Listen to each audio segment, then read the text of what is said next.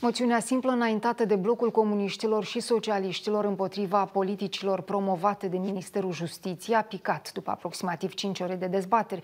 După discursul ținut de la Tribuna Legislativului, ministrul Sergiu Litvinenko a fost luat la întrebări de către deputații din opoziție.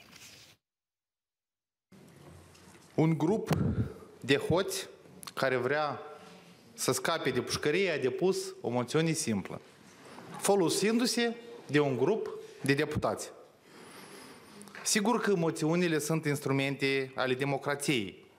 Voi însă, cei de aici, nu respectați democrația, voi doar vă folosiți de ea. După discursul de la tribuna Parlamentului, ministrul Justiției a venit și cu un mesaj adresat moldovenilor. El i-a asigurat că cei care au furat țara vor ajunge la pușcărie, după care a urmat o rundă de întrebări.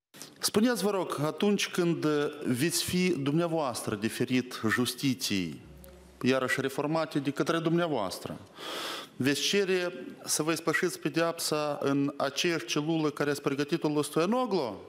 sau veți cere o altă celulă pe care dumneavoastră probabil deja ați văzut-o для себя, родного. Domnul Bolea, nimic original. Ce, în primul rând, lăsați foița, lăsați foița, că eu cred că sunteți în stare să memorizați o propoziție. Uh, doi, exact întrebarea asta ați spus-o la ședința comisiei juridice.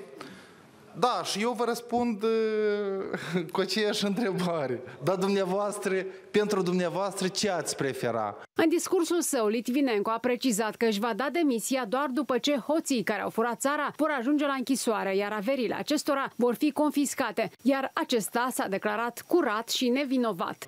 Nu am comis ilegalități, nu am luat mită, nu am furat din banul public, respectiv stau liniștit și sunt liniștit, în același timp și în același timp voi face așa încât cei care au încălcat legea, Plahotniuc, Șor, Platon, care sunt aici în sală sau care nu sunt aici în sală, să răspundă pentru ceea ce au făcut.